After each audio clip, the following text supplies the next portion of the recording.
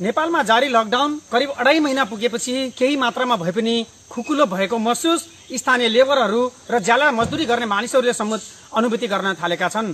लकडाउनका कारण जिल्लाका धेरै विकास निर्माणका कामहरू प्रभावित भएका छन्।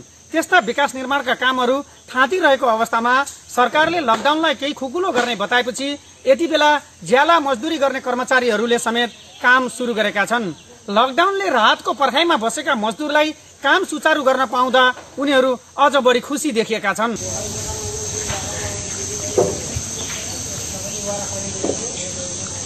अहिले अलिक खुकुलो हुँदाखेरि हामीहरू निर्माण कार्यमा लागेछौँ र पैसा पनि आइरहेछ र घरमा बस्न टाइम पास पनि भएछ र छोरछोरीले खाना खुवाउन पनि सकिरहेछौँ र साथीहरू पनि सबै हामीले धेरैलाई रोजगार पनि दिइरहेछौँ र हामीले पनि दुई चार रुपियाँ लिएर घर खर्च चलाइरहेछौँ।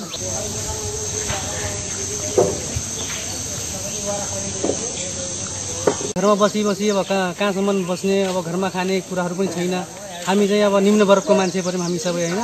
त्यो हिसाबले गर्दाखेरि कामको खोजी गर्दा गर्दै काम नपाएपछि अब हाम्रो गुलरिया नगरपालिकाले धेरै अब कामहरू यतातिर चाहिँ सञ्चालन गर्न गर्नको कारणले गर्दाखेरि हामीहरू चाहिँ काम पाएका छौँ। अहिले काम पाए बापत हामी चाहिँ पैसा पनि पाइरहेछौँ।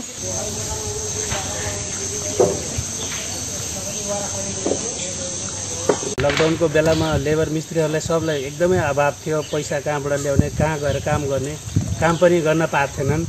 अनि जस लकडाउन हल्का खोक्लो भएको कारणले हाम्रो लेबर मिस्त्रीहरू काम पनि राम्रोसँग गर्न पाएछन् र घर खर्च पनि राम्रोसँग चलाउन पाएछन्।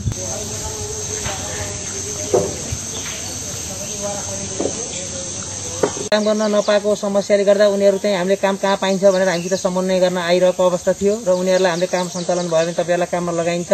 हामीले बाहिरका लेबर लगाउँदैनौँ। जति पनि श्रमिक छन् सबै हामी गुलरिया नगरपालिकाभित्रका नै हाम्रो आयोजनाहरूमा लगाउन हामी चाहिँ निर्माण व्यवसाय तथा उपभोक्ता समितिहरूलाई हामीले निर्देशन पनि दिएका थियौँ मौखिक। त्यस कारणले गुलरिया नगरपालिकाभित्र सबै नगरपालिकाभित्रकै मजदुरहरू अ, ले काम गरिरहनु भएको छ।